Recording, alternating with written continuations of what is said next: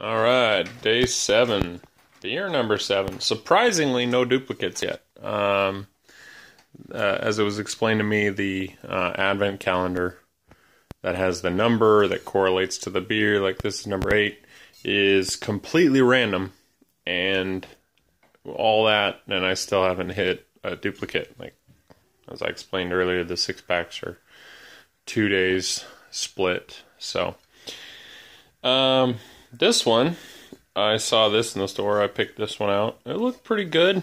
It's a, uh, it's another porter. As I've said before, I kind of like those.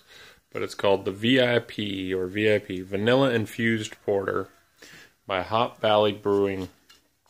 And they say vanilla beans are added to the conditioning tank in this robust porter, giving the bittersweet chocolate notes a well rounded finish and 50 IBUs and 5.9%. So it's actually a lower, it's at a uh, Hop Valley Brewing Company, Eugene, Oregon.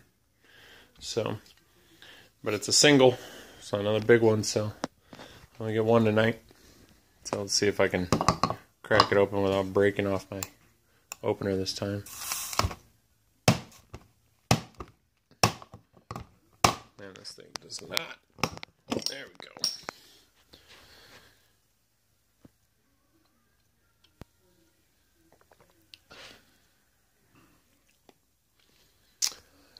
Hmm.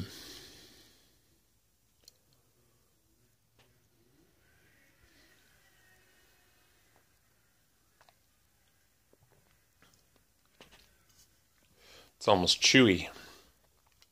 There's a lot going on in there.